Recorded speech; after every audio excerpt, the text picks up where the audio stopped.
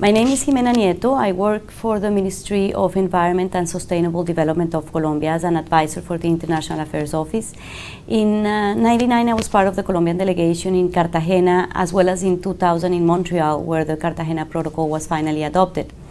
Later on, I was elected together with René Lefeber from the Netherlands, co-chair of the negotiating process that led to the adoption in October 2010 in Japan of the Nagoya Kuala Lumpur Supplementary Protocol.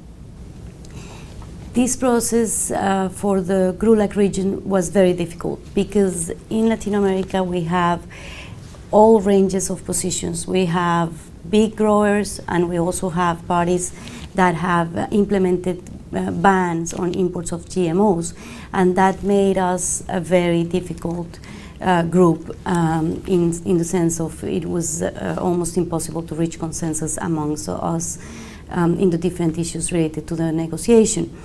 Um, and in that sense, I think the, uh, the negotiating process as well as the treaty itself help to build um, capacity in those countries, raising awareness in Latin America, and uh, it also made countries absolutely cl uh, clear on the fact that we need to develop legislation to protect the conservation and sustainable use of biodiversity.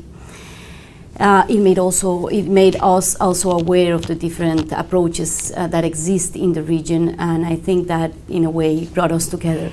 The adoption of the Nagoya Kuala Lumpur Supplementary Protocol contributed in Colombia uh, to two important processes. First, we are revising our legislation in order to identify whether there is a need to develop specific legislation for damage to conservation and sustainable use of biological diversity in relation with GMOs. The second one has to do with the development of baselines for at least two species uh, which we are country of origin that are cassava and rice.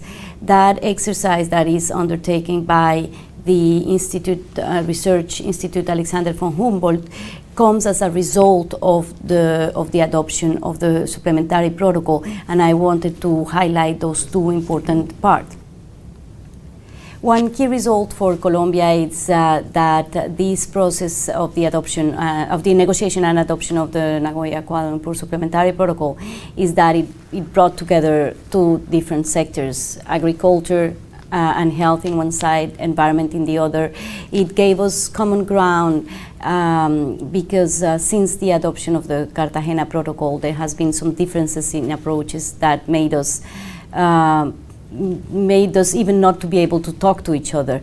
But the, uh, the, the answer to the question, what happens if damage to conservation and sustainable use of biodiversity occurs by the transboundary movement of a GMO, the, that was a, a, question that interested us both and helped us to come together um, uh, for a common for a common interest. So I will highlight those uh, results and activities as a very important contribution to this process uh, at the national level.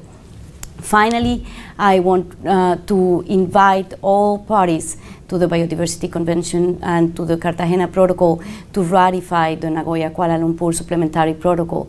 It was a very um, carefully drafted legal instrument that uh, was able to gather the, um, the different positions to uh, bring us together as the international community for one common purpose. Um, the difference between this instrument and maybe other legal instruments is that it really reflects the results of the negotiations. There were years of discussions that were reflected accurately in the text and it was very satisfactory to find out that all parties involved were happy with the result, or at least they were all equally unhappy. And in that regard, I really want to. Um, to, to see this instrument to come into force soon enough and my invitation would be to, as I said before, to all parties to ratify. Thank you.